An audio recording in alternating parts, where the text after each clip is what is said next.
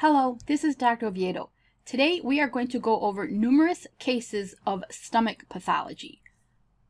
The first slide is normal stomach acid secreting. This particular section is taken from the body of the stomach. I'm going to take a closer look right here.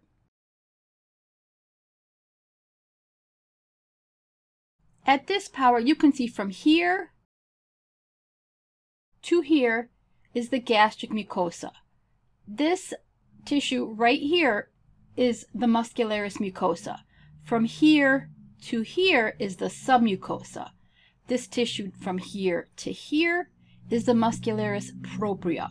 The serosa is extremely thin, but does of course cover the stomach down here. Let's take a closer look.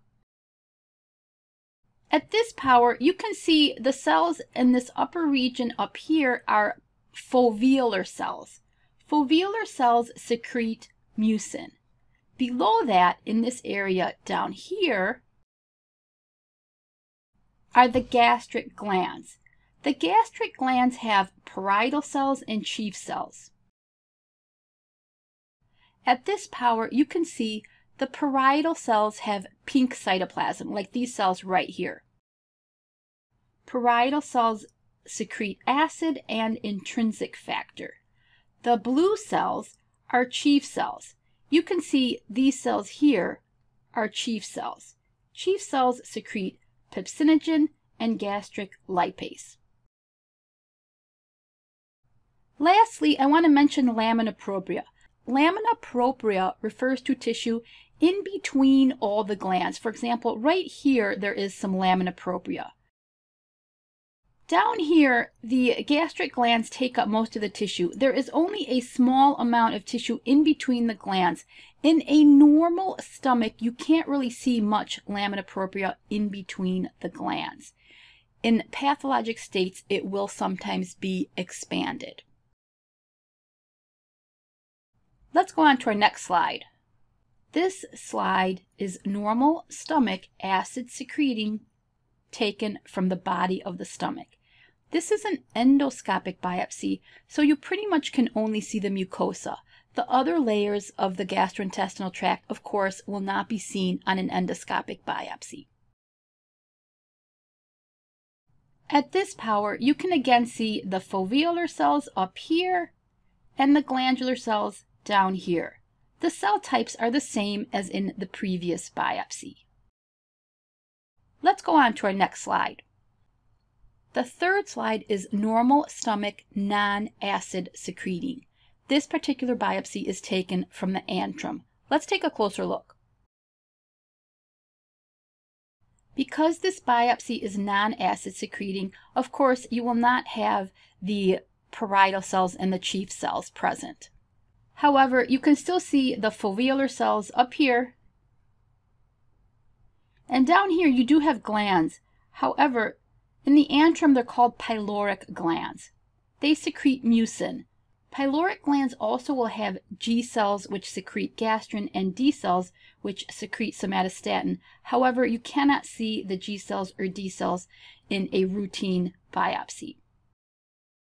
Let's go on to our next case. This is case 4, which is chronic active gastritis with H. pylori organisms present. These are biopsies from the antrum. I'm going to take a closer look at this biopsy right here. At this power, you can see the foveolar cells up here and the pyloric glands down here. You can also see that the lamina propria is expanded. You can easily see there is tissue in between the glands. Let's take a look at higher power. At this power, you can see the lamina propria, which is this tissue in between the glands, contains increased plasma cells and lymphocytes. This is the chronic portion of chronic active gastritis. You can see there are a few neutrophils in this gland right here. This is the active portion of chronic active gastritis. So the histologic diagnosis for this biopsy is chronic active gastritis. This case has two slides. Let's go on to the next slide. This is an MTB stain. This is a stain that will highlight H. pylori organisms. I'm going to take a closer look at the same piece of tissue that we looked at on the previous slide. At this power, there are a few organisms right here. These are H. pylori organisms. They are a little difficult to see. You will be able to see them better on the summary slides. So this, of course, is chronic active gastritis with H. pylori organisms present. Let's go on to our next case. The next case, you're going to have to copy and paste the link in order to see the slide. This is case 5, which is gastric adenocarcinoma intestinal type. At this power, you can see the gastric mucosa up here. You can also see the muscularis propria down here. This entire area is, of course, the tumor. I'm going to take a closer look right here. At this power, you can see this is completely abnormal. There are numerous highly atypical cells forming glands. These white spaces are all glands. Malignant cells producing glands is, of course, adenocarcinoma. So this is gastric adenocarcinoma intestinal type.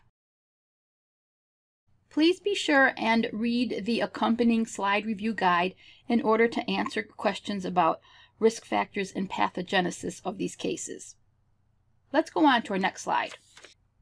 This is case 6, gastric adenocarcinoma diffuse signet ring cell type. This particular slide is hard to orient, but there is a bit of mucosa down here. There's also obviously a large amount of muscularis here on the right. These darker tissues on the left are tumor, and this whitish tissue in the center portions also consist of tumor. I'm going to take a closer look at these central portions. At this power, you can see there are large amounts of mucin kind of dissecting through the tissues. At this power, of course, you can see the very abnormal malignant cells. This cell right here in the middle is what we call a signet ring. The nucleus is pushed to the side right here by this large droplet of mucin. This is the appearance of a signet ring cell, and therefore this is gastric adenocarcinoma diffuse signet ring cell type. Let's go on to our next case. For this next case, you're going to have to copy and paste the link in order to see the slide. This is case 7, which is a MALT lymphoma of the stomach. MALT stands for mucosal associated lymphoid tissue. At this power, you can see the mucosa up here at the top, and then there is the muscularis propria down here at the bottom. You can see the mucosa and submucosa have been massively expanded by a tumor. Let's take a closer look. At this power, you can see the tumor is composed of monomorphous lymphoid-like cells. This is the appearance of a MALT lymphoma. In a real case, there would be a lot of ancillary studies such as immunohistochemistry, flow cytometry, and molecular studies in order to establish that these are MALT lymphoma cells. Let's go on to our next case. Case 8 is autoimmune gastritis. Please note this case is composed of two slides, one with early autoimmune gastritis and one with late autoimmune gastritis. This first slide is, of course, the early autoimmune gastritis. Let's take a closer look. At this power, you can see there is a large lymphoid aggregate right here. And there also seem to be quite a few lymphocytes among the glands. Let's take a closer look. At this power, you can see there are too many lymphocytes in the lamina propria. Here in the center, I've shown a few glands which are infiltrated by lymphocytes. This is, of course, autoimmune gastritis. Autoimmune gastritis is associated with autoantibodies against the hydrogen potassium ATPase pump and intrinsic factor. Let's go on to the next slide to see how this disease will develop over years. I'm going to take a closer look at this piece right here. This was taken from acid secreting mucosa, and you can see it is much too thin and does not have the acid secreting glandular cells that you would normally see in acid secreting mucosa. You do still have the foveolar cells up here. Down here, let's take a closer look. These glands are just kind of immature. They don't really demonstrate well-developed acid secreting appearance. This is, of course, atrophic gastritis. In addition, this area right here, of course, has numerous goblet cells. There's a goblet cell right here, right here, right here, right here. This is, of course, intestinal metaplasia, which is associated with atrophic gastritis. This is a good time to review vitamin B12 absorption. However, for now, let's go on to our next case. This is case 9, which are stress ulcers or ICU ulcers. This case demonstrates the gastric body on the left, right here, and the antrum on the right. You can see these multiple black lesions are, of course, ulcers.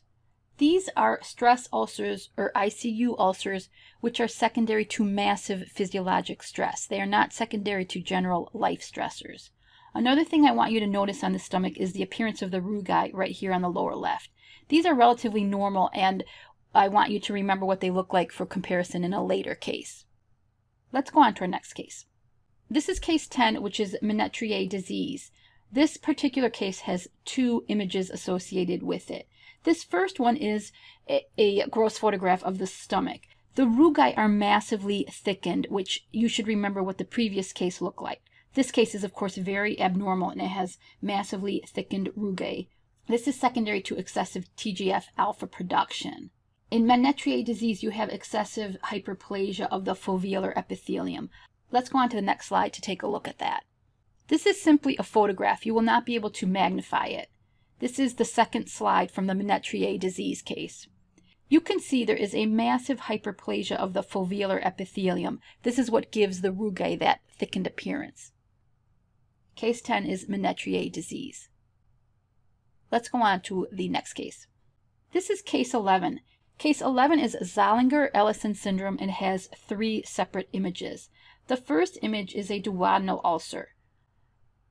The duodenal ulcer is, of course, right here in the middle of the picture. Let's do a systematic viewing of the image. Up here you have the stomach, and then down here is, of course, the duodenum. This punched out lesion in the middle is the ulcer. Let's go on to the next image for case 11.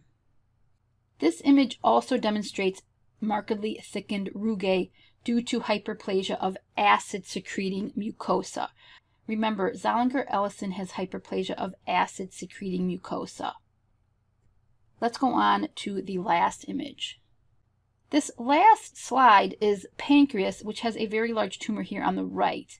This is a neuroendocrine tumor or carcinoid tumor, which is the third part of Zollinger-Ellison syndrome. Let's take a closer look at the tumor. At this power, you can see the tumor is composed of fairly monomorphous cells that have fairly uniform round nuclei with a salt and pepper chromatin appearance. You can see the salt and pepper appearance fairly well in this nucleus here that I'm circling. The cells are fairly uniform and have kind of a pale pink cytoplasm. Neuroendocrine tumors will also form trabeculae, which are these kind of long areas here, and little gland-like structures, which are here. In order to determine what type of hormone a neuroendocrine tumor is secreting, you have to do special studies such as immunohistochemistry on the tumor cells. Because this is Zollinger-Ellison syndrome, this particular neuroendocrine tumor is, of course, secreting gastrin, which causes the changes that you saw in the previous two images. So these three images together is what compose Zollinger-Ellison syndrome. I gave you an example of a carcinoid tumor in the pancreas secreting gastrin. However, you can also get Zollinger-Ellison with a carcinoid tumor of the duodenum. Please note neuroendocrine tumor and carcinoid tumor are the same thing. Let's go on to our next case. This is case 12, which is a carcinoid tumor of the stomach. Let's take a closer look at this one on the top right. At this power, you can see the gastric mucosa going around the tissue. The tumor is, of course, right here. Here again, you have a carcinoid tumor or neuroendocrine tumor similar in appearance to the one we just saw in the pancreas. You have a fairly uniform round nuclei with salt and pepper chromatin, and there is a fairly pale pink cytoplasm present. This particular view has some trabeculae here on the right, and there are small gland-like structures here on the left. So this is, of course, a carcinoid tumor of the stomach. Again, in order to find out what type of tumor this hormone is secreting, you need to do special studies. Let's go on to our next case. Case 13 is a gastrointestinal stromal tumor. You can see this is a fairly sharply demarcated tumor. I'm going to take a closer look right here. At this power, you can see this tumor is composed of spindled cells. The cell of origin for gastrointestinal stromal tumor is the interstitial cell of Cajal, which is also the same as the pacemaker cell of the muscularis propria. Gastrointestinal stromal tumor will have a KIT mutation in about 75 to 80% of all tumors. About 8% will have a PDGFRA mutation. Other genes are involved in tumor progression. GISTs with PDGFRA are overrepresented in the stomach. Imatinib, which is a tyrosine kinase inhibitor, is a potential therapy in some patients that have the KIT or PDGFRA mutation and cannot have a complete surgical resection. Okay, let's go on to our summary slide. Cases 1 and 2 are normal stomach from the body of the stomach acid secreting. Here on the left, I have the full thickness gastric body. This is the gastric mucosa, which is acid secreting. Here's the muscularis mucosa. There's the submucosa. Here is the muscularis propria. Down here is the serosa, which is covered with mesothelium and is very thin. Here on the right, I've shown the endoscopic biopsy from the gastric body. We'll take a closer look at that on the next slide. Here on the left is the acid secreting mucosa. Here are the gastric pits, and here are the gastric glands. The gastric pits are composed of foveolar cells, which can be clear or pale pink and are mucus secreting. The gastric glands are composed of parietal cells, which are pink and secrete acid and intrinsic factor. The chief cells are blue and secrete pepsinogen and gastric lipase. The lamina propria is the tissue in between the pits and the glands. There's not much lamina propria in a normal stomach. Here on the right, I've shown a drawing from Harrison's Internal Medicine so you can review the physiology of these different types of cells. Case 3 is normal stomach from the antrum, which is non-acid secreting. The cardia is also non-acid secreting, but we will only be reviewing a biopsy of the antrum. Here is our tissue. These are the foveolar cells, which are clear or pale pink and mucus secreting. Here are the pyloric glands, which also secrete mucus. In the antrum, these have G cells, which secrete gastrin, and D cells, which secrete somatostatin. The G cells and D cells cannot be seen on routine sections. Case 4 is composed of two slides. It is chronic active gastritis with H. pylori organisms present. Here is the biopsy showing chronic active gastritis. Here is the chronic portion, which is composed of an expanded lamina propria, which is the space in between the glands, and has increased plasma cells. Here is the active portion, which demonstrates neutrophils in a gland. This is the histology of chronic active gastritis. Let's go on to the second slide that corresponds to this case. This is an MTB stain. Here you can see the organisms are circled. They are kind of faint, but they have kind of an elongated S shape. Here on the right I have a drawing which demonstrates that the organisms are present in the overlying mucus, however you do get an inflammatory response in the underlying tissue. Let's go on to our next case. Case 5 is gastric adenocarcinoma, intestinal type. Here is our whole mount. Here on the right, you can see the malignant cells are producing glands, which are those kind of empty white spaces. So this, of course, is gastric adenocarcinoma, intestinal type. Case 6 is gastric adenocarcinoma, diffuse signet ring cell type. Here on the left, you can see the tumor extensively invades into the stomach wall. This is in comparison to the intestinal type, which is more likely to form a single mass. Here in the middle, I have a mid-power which shows a cluster of the signet rings in pools of mucin. On the far right, I have a high power of the signet ring, which is of course composed of the nucleus pushed to the side, along with a large droplet of mucin, which gives this signet ring appearance. Case 7 is a MALT lymphoma of the stomach. MALT stands for mucosal associated lymphoid tissue. Here is our whole mount. You can see the mucosa is expanded by the malignant lymphoid cells. Here I have a high power which demonstrates monomorphous population of lymphoid cells consistent with a MALT lymphoma. Please note that this diagnosis is generally confirmed with special studies such as immunohistochemistry, flow cytometry, and PCR. Case 8 is autoimmune gastritis and is composed of two slides, an early slide and a late slide. Autoimmune gastritis demonstrates loss of parietal cells which secrete acid and intrinsic factor. Here is the early slide you can see there is lymphoid infiltration of the mucosa. On the bottom panel, the lymphocytes are infiltrating the oxyntic glands. Oxyntic is another word for acid secreting.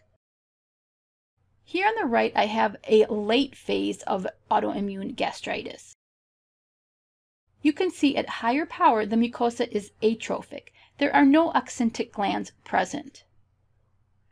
Here on the far right, I've shown intestinal metaplasia with goblet cells, which is associated with atrophic gastritis.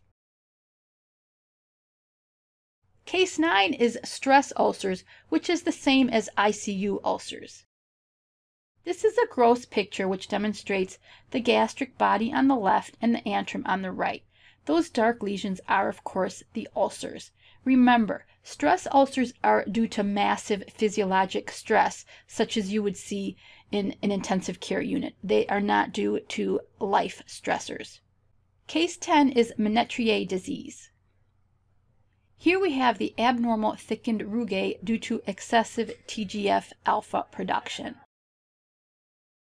The clinical symptoms of Menetrier disease are protein losing enteropathy, which causes a hypoproteinemia. Here I have an image demonstrating the markedly thickened foveolar epithelium you can see this when you compare it to the normal body. I have a normal body down here, which you can see the foveolar epithelium is quite narrow compared to the image on the top. Case 11 is Zollinger-Ellison syndrome. Here we have our duodenal ulcer, the stomach with thickened rugae. Remember, here in Zollinger-Ellison, this is due to hyperplastic acid-secreting mucosa. And here on the right is the carcinoid tumor, which is secreting gastrin and causing the two problems on the left and middle panel. This particular example I gave you is a carcinoid tumor of the pancreas. However, you can also have a carcinoid tumor in the duodenum cause the lesion on the left and in the middle. This is, of course, Zollinger-Ellison syndrome. Case 12 is a carcinoid tumor of the stomach. I'm sure you know this is the exact same thing as neuroendocrine tumor of the stomach. Here we have our slide, and here we have a high power on the right, which demonstrates the uniformly round nuclei with salt and pepper chromatin, moderate amounts of pink cytoplasm, and these cells form glands and trabeculae. Please note that special studies are needed in order to see what type of hormone this tumor is secreting. Case 13 is a gastrointestinal stromal tumor. Here is our slide. On high power, you can see that this tumor is composed of spindle-shaped tumor cells. Immunohistochemistry for this tumor will be positive for KIT. This is not shown here. The cell of origin for gastrointestinal stromal tumor is the interstitial cell of Cajal, which is the pacemaker cell of the muscularis propria. Approximately 75 to 80% of all gastrointestinal stromal tumors have KIT mutations. Approximately 8% of all gastrointestinal stromal tumors have PDGFRA mutations. Other genes are involved in tumor progression. GIST with PDGFRA mutations are overrepresented in the stomach.